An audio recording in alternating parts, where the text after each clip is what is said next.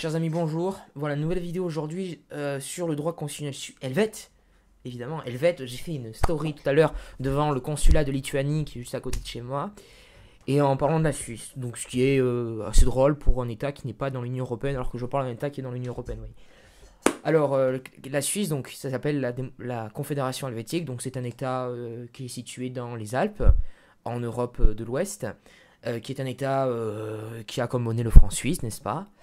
Euh, qui n'est pas dans l'Union européenne, qui est dans l'espace Schengen notamment, euh, qui, euh, qui est en train de négocier un accord d'association avec l'Union européenne depuis plus de 10 ans, ils n'y arrivent pas. Là, dans les années 70, ils ont essayé de rentrer dans l'Union européenne, mais sans succès. Enfin bref. Enfin, il y a eu des référendums, même dans les années 90, pour savoir si la Suisse devait adhérer au marché commun. Ils ont refusé. Et d'ailleurs, il y a eu des. Guy Parmelin soutenait à l'époque, bon, enfin bon, c'est pas le sujet. Alors, la Suisse est une démocratie consociative. Donc, qu'est-ce que ça veut dire consociative? Ça signifie déjà un premier temps, enfin, on va dire 26 cantons, 26. Alors, c'est fédéral. Voilà, fédéral. 26 cantons, on a 26 cantons. 26 euh, cantons, donc il y a une, évidemment le droit fédéral prime sur le droit fédéré. La constitution helvète et non édicte que la constitution euh, distribue les pouvoirs et que les pouvoirs qui ne sont pas réservés à la confédération de principe sont réservés aux cantons. Euh, il y a un principe de spécialité, hein, quelque part même un petit principe de subsidiarité dans, ça. 26 euh, États, on l'a dit, une diversité linguistique très forte, 4 langues officielles, 3 euh, en pratique. L'allemand, le français, l'italien et le romanche pour celle qui est la moins utilisée, même si elle est quand même utilisée. La chancellerie fédérale traduit les textes législatifs et réglementaires en, langue romanche.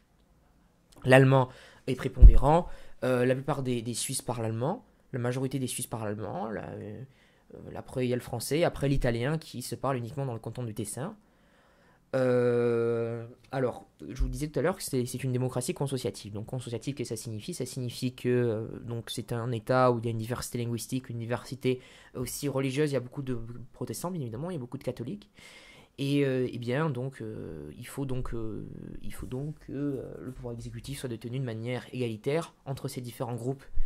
Donc, c'est pour ça que, on va le voir, le Conseil fédéral, on va voir que c'est très euh, que c'est basé sur un consensualisme, que c'est basé que c'est basé à l'unanimité, que c'est basé en fonction aussi de il y a une distribution finalement, il y a des il y a des il y a des, Italiens, il y a une majorité d'Allemands, des Français, des Italiens, euh, 4, protestants et 3 catholiques, et euh, etc., Donc c'est, si vous voulez, il y, a il y, a toute une idée comme ça. Les Pays-Bas euh, avaient notamment, dans les années 70, voilà, entre calvinistes et luthériens et catholiques, euh, une, un exercice du pouvoir exécutif qui était qui ressemblait à ça. Donc c'est un des états, un des derniers États au monde à être consociatif. C'est très important pour la suite parce qu'on va voir que c'est important. Donc euh, la Suisse, euh, donc la, la, Confédération helvétique, donc a une constitution qui est donc, ils ont une constitution fédérale depuis 1874, la révision c'est 1899, 1899. cette constitution a été acceptée par référendum. Elle est celle qui, est applicable aujourd'hui, qui fixe finalement euh, les pouvoirs de la Confédération euh, dans plein de matières et donc réserve par exemple alors quatre compétences particulières à la Confédération. C'est ce qu'on appelle les compétences fédérales parallèles, les compétences euh, concurrentes limitées au principe, les compétences concurrentes non limitées au principe, et enfin les compétences fédérales exclusives comme typiquement le fait euh, d'adhérer, euh, de, ratifier des traités et de, euh, ratifier des traités, etc. Donc toute la relation avec le monde. Il faut savoir que la Suisse aussi, les, les Helvètes jouissent d'un bicamérisme très égalitaire, puisqu'en effet, ce qu'on appelle l'Assemblée fédérale est constituée de ce qu'on appelle le Conseil des États et le Conseil national. Le Conseil des États, eh bien, vous le savez, ce sont la représentation des États fédérés typiques d'un État fédéral. Ils participent au pouvoir législatif. Euh, à la fonction législative de l'État. Et enfin, nous avons le Conseil national. Le Conseil national, ce sont des représentants du peuple qui sont élus dans euh, les cantons disposent par exemple d'un quorum de, de place, qui sont élus en fonction de, euh, de la démographie finalement. Donc le canton de, de Berne, excusez-moi, de Berne, voilà, donc le plus grand, aura beaucoup plus de, de, représentants, de, de, conseillers que le petit canton de Schwytz, n'est-ce pas? Euh, ou, de Balleville. Voilà, c'est une évidence que le canton de Genève aura un nombre euh, équivalent au canton de Berne. Euh, voilà, c'est ce que je disais. Après, donc le, pouvoir exécutif est détenu par ce qu'on appelle le Conseil fédéral, qui est élu pour une durée de 7 ans. qui est donc, en fait, c'est les membres du Conseil fédéral, si vous voulez, sont élus sur une base de 8 ans, excusez-moi, je réfléchis en même temps, 8 ans. Oui, de 8 ans. Oui, 8 ans. Je, dis une bêtise. sont élus finalement sur une base euh, donc c'est le conseil, euh, c'est l'assemblée euh, fédérale qui finalement les élit, donc c'est notamment le conseil national qui les élit.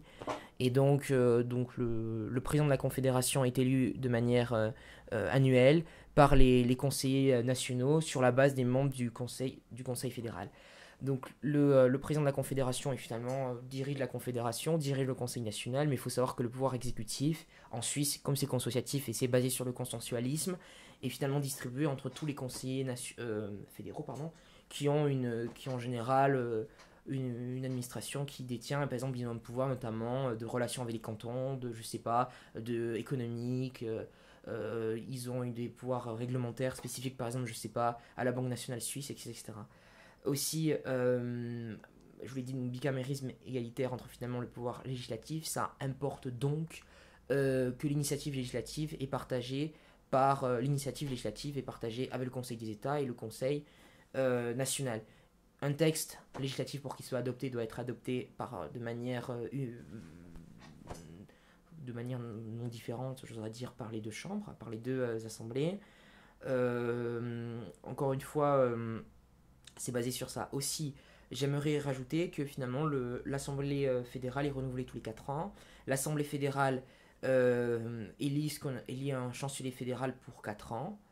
Euh, à chaque renouvellement complet, un chancelier fédéral est élu. Le chancelier fédéral dirige l'administration fédérale et conseille le gouvernement. Euh, donc c'est un peu, euh, c'est un peu un méga conseil d'État et c'est comme si on donnait au conseil d'État un pouvoir de direction de l'administration. Ce qui serait drôle. ça se tente en vrai. Ça, je Voilà, donc une séparation des pouvoirs plutôt, plutôt, plutôt assez rigide quand même très rigide même, parce que moi je trouve que c'est rigide déjà parce que. Alors, euh, déjà, alors, ça les. Ouais, parce que déjà dans le premier temps, le pouvoir exécutif n'est pas responsable devant le Parlement. Euh, donc déjà, c'est assez important. Mais en même temps, le Parlement les élit. Donc ça fait. Euh, c'est assez particulier. Mais ouais, donc en même temps, vous allez me dire, ouais. Donc c'est plutôt. c'est suisse, quoi. C'est formule magique suisse. D'ailleurs, j'ai le drapeau, évidemment qui est réglementaire, parce qu'évidemment, il y a une norme législative en Suisse qui impose la taille du drapeau helvète, la croix suisse. Euh, je voulais dire aussi qu'il y a une participation très forte des citoyens au pouvoir législatif. Euh, et au pouvoir législatif, puisque finalement, ils ont euh, un pouvoir finalement de. de s'appelle de, référendum très fort, de référendum populaire. Donc, ces 100 000 citoyens, dans un délai de 18 mois, peuvent proposer une initiative qui sera proposée au vote. Euh, aussi, euh, les citoyens peuvent s'opposer à un droit de veto.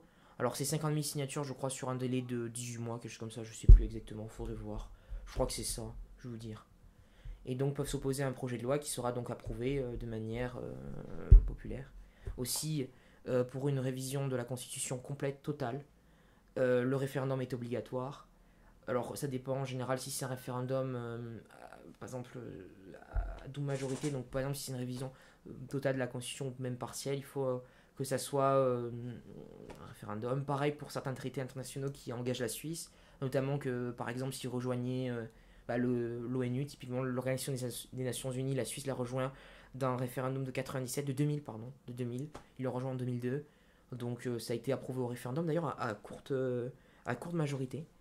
Donc, donc voilà. donc la Suisse, la Suisse, voilà on le sait. Euh, alors, euh, qu'est-ce qu'il faut dire d'autre sur la Suisse euh, Donc, il y a le, tribunal fédéral. Le tribunal fédéral, les juges sont élus par l'Assemblée fédérale, encore une fois. Il n'y a pas grand chose d'autre à dire, je pense avoir été complet. J'ai pas trop parlé d'histoire constitutionnelle, mais voilà, vous aurez compris. Voilà, donc en général, c'est proportionnel. Voilà, pour les membres du Conseil national, c'est proportionnel. Ils sont élus de manière proportionnelle. Euh, donc voilà, c'est pas hyper, euh, hyper compliqué. Bon, encore une fois, euh, je vous ai fait quelque chose qui est, qui est très vaste. Et leur constitution est juste immense, 180 hein, articles et choses comme ça. C'est immense. Mais à lire, c'est assez agréable leur constitution. Vous pouvez lire et vous voyez que des fois, il y a des trucs marrants qui ont été approuvés par référendum. Et ils aiment bien inscrire dans leur constitution beaucoup de choses. Et, et c'est vraiment. C'est vraiment très drôle. Mais euh, bon, voilà, je vous remercie d'avoir écouté. Et, voilà, vive, la Confédération helvétique, un pour tous, tous pour un. On va tous réussir. Allez, je vous laisse.